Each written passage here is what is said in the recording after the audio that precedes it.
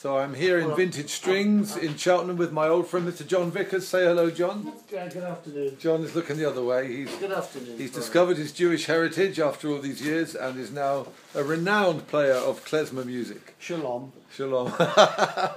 Hence all these wonderful accordions. And what I'm looking at is a beginner's accordion at the moment. John is explaining that you need 72. 72 bass minimum to be fully chromatic. That means to play everything that's in the scales you may wish to play. So we've got. Um, so that one there might be good for. Was just saying that my niece is after a accordion, and she's quite a, a very talented piano player. What would her problem be then? Finding what to do with the buttons, really. Initially, uh, and, and until you get going, she she probably need an accordion teacher to, to give her some help with the left hand. Yeah. The right hand is the piano.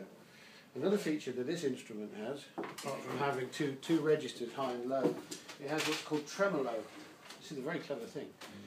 We have a set of reeds that's tuned 20% sharp Yeah. on a concert set of reeds. The two reeds sounding together set up an oscillation which is called tremolo. I'll give you an example.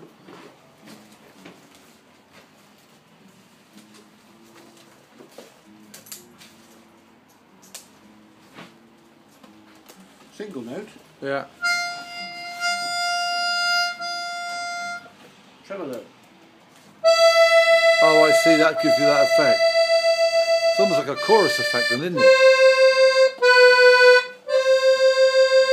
So it's oscillating between two two reeds. Two reeds slightly offset in pitch.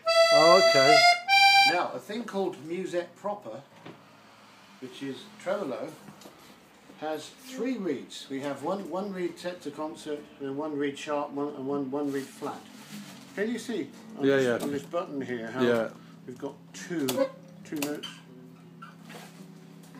two dots in the stave.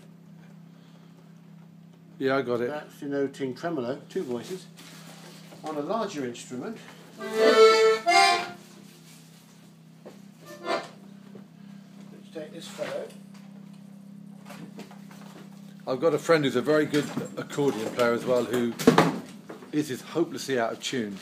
So um, Oh, we can sort that. Now, you, you- can see on this fellow, Yeah. there's three. This is called mu- musette, or very wet tuning. It's the tuning you associate with uh, wet tuning. wet. Wet, wet rather than dry. So lots of effect, as you'll hear. Well, normally, because we say wet, we're thinking of reverb and effects. aren't we? Exactly the same, really. We're talking in terms of, of uh, the tremolo or musette is being wet.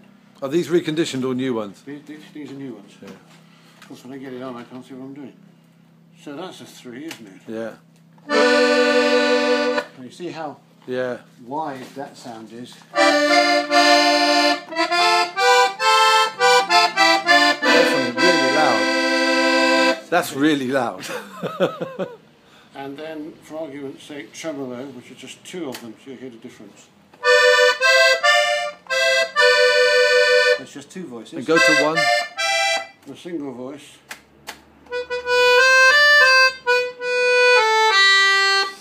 That's a real gypsy jazz sound, isn't It's, it? it's gorgeous, isn't it? And then say, and three again. And what's the deepest the deepest bass note you can get? Well, this has got couplers in the left side.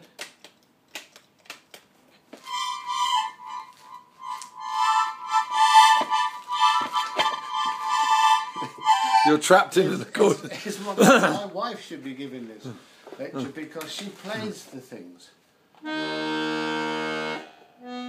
Oh, that's a sweet sound. So it's in octaves. Or, or we can take